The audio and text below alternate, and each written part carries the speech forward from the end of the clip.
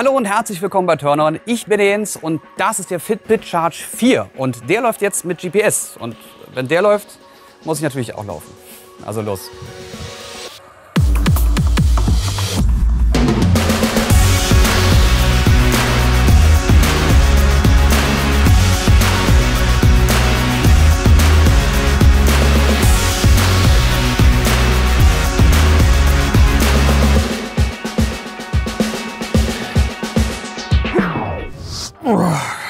So. Puh, nachdem ich jetzt fünf Minuten in einem Sauerstoffzelt mich wieder ein bisschen erholen konnte, äh, Joggen bei 32 Grad im Sommer gehört jetzt nicht zu meinen standardsportlichen äh, Aktivitäten. Das bin ich nicht mehr so gewohnt.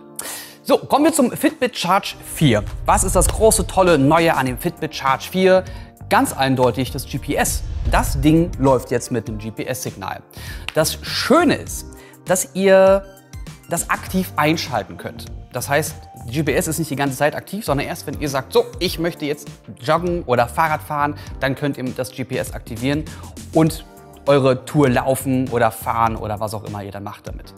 Ähm, auch schön ist, dass er währenddessen natürlich auf einer Karte anzeigt, wo ihr lang gelaufen seid und auch noch anzeigt, wie eure Herzfrequenz auf der jeweiligen Strecke war. Das heißt, wenn ihr anfangt zu laufen und ihr erst im Cardio-Bereich seid und dann in der Fettverbrennung seid, dann zeigt er euch auch an, wo ihr entsprechend in der Herzfrequenz wart oder wie anstrengend diese Tour für euch war. Für Leute, die richtig viel laufen, kann das ein ziemlich guter Keyseller sein. Das verbrennt jetzt aber auch eine ganze Menge Strom. Das heißt, wenn ihr das GPS anhat, habt, dann hält der Fitbit Charge nicht mehr fünf bis sieben Tage, sondern vielleicht eher nur fünf bis sieben Stunden wenn ihr dauerhaft mit GPS aktiv seid. Wie viel GPS benutzt ihr am Tag? Das ist natürlich jetzt eure Frage. Äh, ich glaube, da kommt ihr ganz gut bei weg, wenn ihr alle zwei Tage auf den, den, den Fitbit äh, laden tut. Sagt man das so? Sagt man so. Ähm, wir hatten jetzt hier in Hamburg ein klitzekleines Problem damit. Ich bin jetzt die Strecke hier gelaufen und wir haben hier es alles sehr eng bebaut. Also links und rechts überall Gebäude, alle relativ hoch überall Bäume, die auch sehr nach, weit nach oben wachsen und dann auch noch ein Blätterdach herstellen. Das heißt, das GPS-Signal aus dem Fitbit hatte keine gute Verbindung nach oben zum Satelliten. Das heißt, wir haben erstens sehr lange gestanden und gewartet, bis das Signal da war. Und wir mussten auch von, von der Innenstraße hier auf eine große Kreuzung laufen, bis das Signal da war. Und auf der Strecke, die ich gelaufen bin, weil hier alles so eng war, hat man hat das Signal ständig verloren und auf der Karte bin ich irgendwie durch Häuser gelaufen und so. Das typische GPS-Problem, ihr kennt es mit Sicherheit auch alle.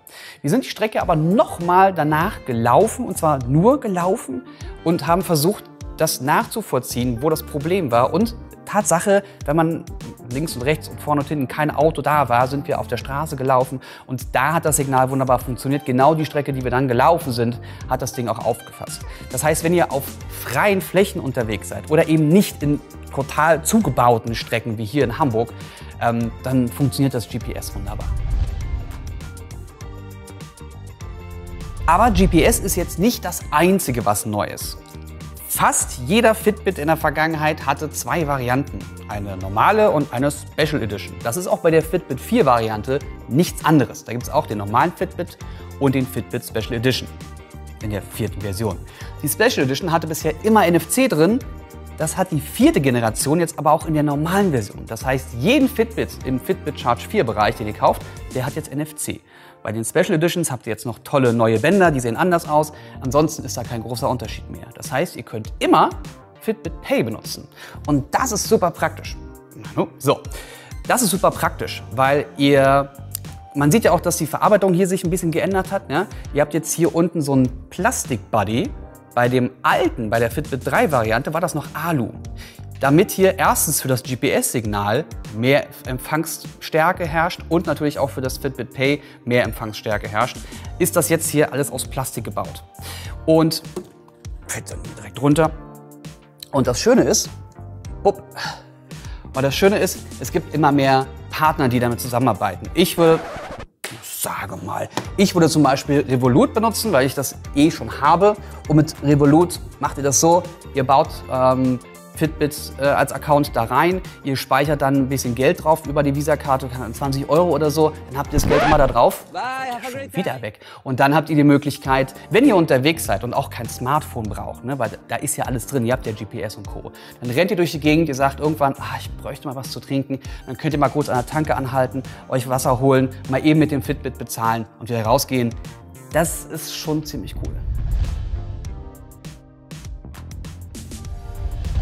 So, ich behalte ihn jetzt einfach in der Hand. Kommen wir zu den Quality of Life Updates. Es ist jetzt so, dass wir, hm, fangen wir mal mit drei Sachen an. Ähm, es gibt jetzt so eine Art Spotify-Player da drauf, den ihr nutzen könnt. So eine Art Mini-Fernbedienung für Leute, die Spotify in der Premium-Variante nutzen. Die können pausieren und das nächste Lied auswählen. Ja, also ihr habt eine minimale Möglichkeit, darüber direkt was, was zu tun, ähm, ohne das Smartphone immer wieder in die Hand nehmen zu müssen. Auch im ähm, Schlaftracking-Bereich haben sie ein bisschen was verändert. Da gibt es die Möglichkeit, ähm, ein paar mehr Details aus dem Schlaf herauszuziehen, also auch wie die, die, der Blutsauerstoff und sowas war. Ähm, Außerdem gibt es einen Do Not Disturb-Modus, möchte ich mal sagen, einen Schlafmodus. Der sagt, okay, ähm, wird vorher eingestellt, ich möchte immer um 22 Uhr schlafen, ich möchte um 6 Uhr aufstehen. Dann vibriert das Ding am Arm und sagt so, ab sofort ist der Do Not Disturb Modus an. Du wirst jetzt nicht mehr gestört, keine Benachrichtigung, das Display geht nicht mehr automatisch an, wenn du irgendwie den Arm hochbewegst. Du hast jetzt Ruhe, Feierabend und genauso wirst du morgens um 6 per Vibration automatisch geweckt oder jedenfalls wenn du davon geweckt wirst, es vibriert am Arm und du sollst dann langsam aus dem Schlaf aufwachen, damit du, wie angegeben, ähm, zwischen 22 und 6 Uhr auch wirklich schlafen kannst. Und das finde ich auch, das ist schön, das ist ein schönes, vollwertiges Update. So, das Ding legen wir jetzt hin, dann kannst du nicht mehr wegrollen.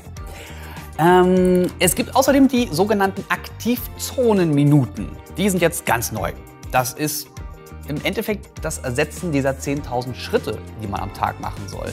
Es ist jetzt so, dass diese Aktivzonenminuten für die Woche berechnet werden oder für den Tag berechnet werden und ihr eine bestimmte Anzahl an Aktivzonenminuten sammeln sollt. Das klingt jetzt gerade super kompliziert. Im Endeffekt heißt das nur, es gibt die sogenannte äh, Fettverbrennung, den Kardiobereich und die Höchstleistung. Und die soll zum Beispiel bei der Fettverbrennung ähm, ein bisschen unterwegs sein. Im Kardiobereich, da wird genau angezeigt, das ist dann zwischen 138 und 165 Herzschlägen pro Minute und die Höchstleistung ist alles, was über 166 ist. Es gibt so schöne Bilderchen, die man sich ja nochmal anschauen kann, wenn man auf diese, auf diese einzelnen äh, Frequenz, Herzfrequenzzonen rauftippt. Ähm, und vor allem, wenn man in Cardio- oder im Höchstleistungsbereich unterwegs ist, werden die Zeiten doppelt gezählt. Das heißt, eine Minute Höchstleistung sind gleich zwei Minuten für diese Zonenrechnung, die man hier hat. Und das ist eigentlich auch nochmal ganz praktisch zu sehen, wenn ich Sport mache. Wie viel von meiner Zeit verbringe ich in den einzelnen Herzfrequenzzonen. Also bin ich jetzt jemand, der überwiegend im Kardiobereich unterwegs ist und so vor mich hin läuft, oder ist Cardio wie für mich purer Stress und ich bin immer über 166, äh, bin immer auf Höchstleistung gepolt. Was auch nochmal zeigt, vielleicht sollte ich ein bisschen mehr auf Cardio gehen oder vielleicht ist Cardio auch komplett gar nichts für mich. Also man kann damit so ein bisschen monitoren, so ein bisschen beobachten, was macht der eigene Körper mit dem Sport, den man treibt, mit den Bewegungen, die man treibt. Und vor allem sagt er dir, du bewegst dich zu wenig. So, wenn ich euch jetzt die beiden Fitbits hier hinhalte, könntet ihr mir sagen, welcher welcher ist? Wahrscheinlich nicht, weil man nur von der Seite oder von hinten wirklich erkennt, dass das hier der Fitbit Charge 3 ist und das hier der Fitbit Charge 4. Einfach nur, weil der hier an der Seite noch Alu hat, also ein bisschen heller ist und der hier aus Plastik ist. Sonst ist das eigentlich so ziemlich das gleiche Gerät. Ja? In den die inneren Werte sind nochmal ein Unterschied, nämlich dass du beim Fitbit Charge 3 nur in der Special Edition Version noch NFC drin hast.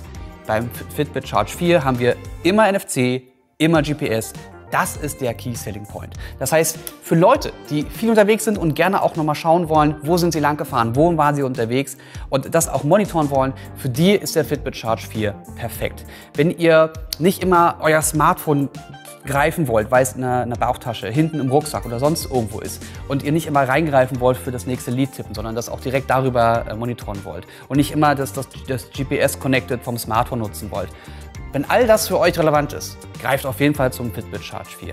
Wenn GPS für euch nicht so das große Thema ist, dann reicht es eigentlich schon aus, auf den Fitbit Charge 3 in der Special Edition zuzugreifen, weil dann habt ihr NFC, all die anderen Features, lange Akkulaufzeit, all das, was der Fitbit Charge 4 auch kann, nur eben ohne GPS. Aber es ist schön, dass es jetzt diese Möglichkeit gibt.